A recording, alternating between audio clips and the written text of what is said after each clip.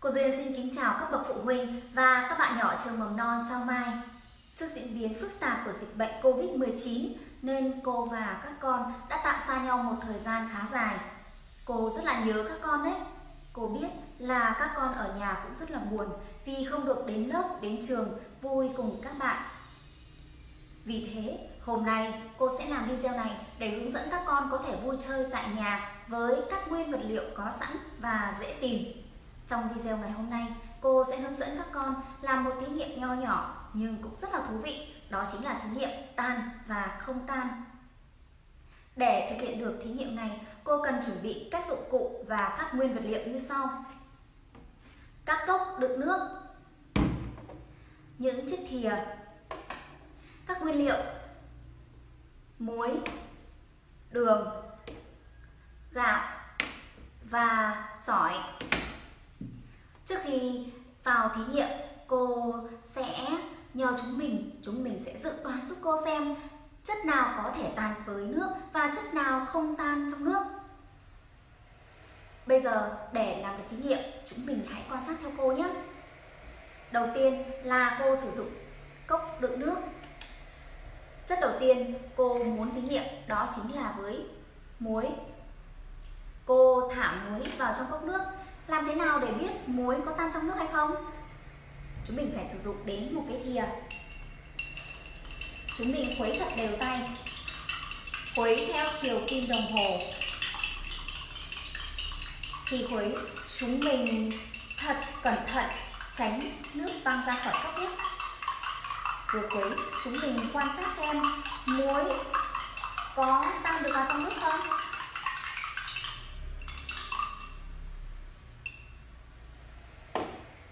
Sau một thời gian cô khuấy thì cô thấy những hạt muối đã tan trong nước rồi.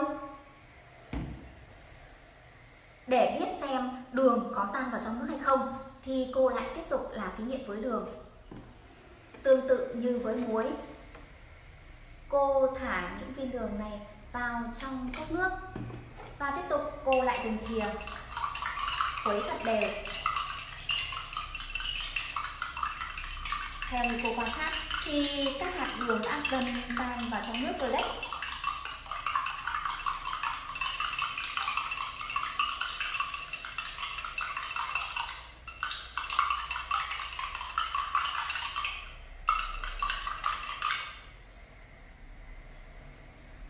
À, vậy là các hạt đường đã tan vào trong nước rồi.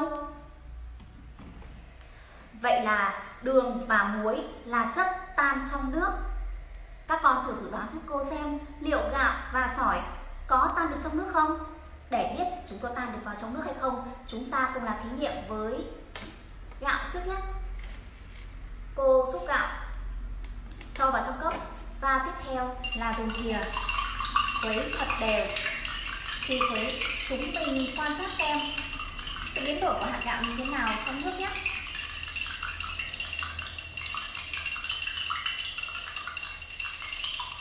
Cô thấy các hạt gạo không hề tan vào trong nước đâu. Và chúng mình quan sát dưới đáy cốc giúp cô nào. Cô dùng thìa, múc từ dưới đáy cốc múc lên. À các hạt gạo vẫn còn nguyên, đúng không nào? Để biết sỏi có tan được trong nước hay không, thì chúng mình hãy làm thí nghiệm với những viên sỏi nhỏ.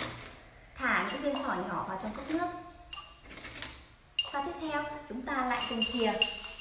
Khuấy thật là đều chúng mình khuấy đều tay và quan sát xem sỏi liệu rằng có tan trong nước hay không.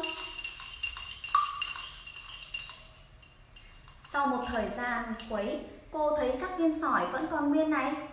Vậy là sỏi cũng không tan trong nước, đúng không nào? Cô đã làm xong tất cả các thí nghiệm rồi đấy, và cô thấy rằng muối, đường thì là chất tan trong nước, còn gạo và sỏi là chất không tan trong nước. Chúng mình có thể hoàn toàn thực hiện được thí nghiệm này ở nhà, nhưng với một điều kiện là bố mẹ chúng mình phải chuẩn bị chúng, cho chúng mình đầy đủ các nguyên vật liệu để chúng mình làm thí nghiệm và chúng mình không được tự ý lấy các đồ để chúng mình làm thí nghiệm một mình nhé. Video của cô đến đây là kết thúc rồi. Cô chúc các con có một sức khỏe thật tốt. Xin chào và hẹn gặp lại tất cả các con.